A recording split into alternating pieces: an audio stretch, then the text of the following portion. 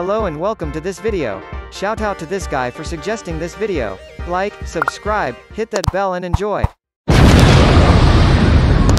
So we are already attacking Belarus, and somehow it appears that we have the upper hand. We almost got all of Belarus. This is great. Let's wait a bit and attack them again. Let's finish them off and go for Ukraine next. And there you go, the collapse of Belarus. For Ukraine. Let's make a strong army. Move them to the border. Almost ready. It wouldn't be a war without a coalition. Time for war. Drop the nukes.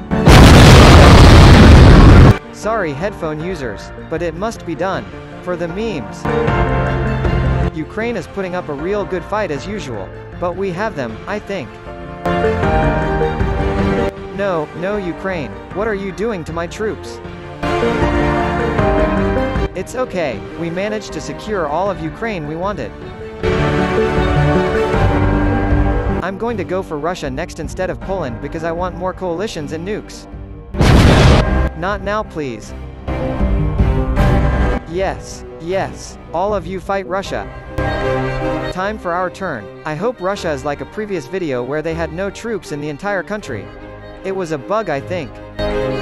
It actually looks like they have no troops. Oh god, don't be like Ukraine who is recognized for their relentless courage and never signing peace treaty skills. What will make you sign a peace treaty Mr. Russian President Putin? Now they had to bring their soldiers? Outrageous. Don't forget we have Poland left to fight after this. Please Russia just sign a freaking peace treaty.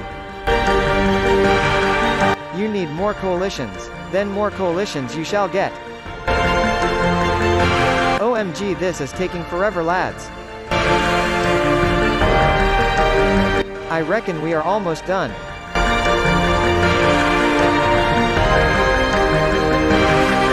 Yes finally oh my god that took way too long. On to Poland to end this episode. But let me give out some free provinces to Russia first.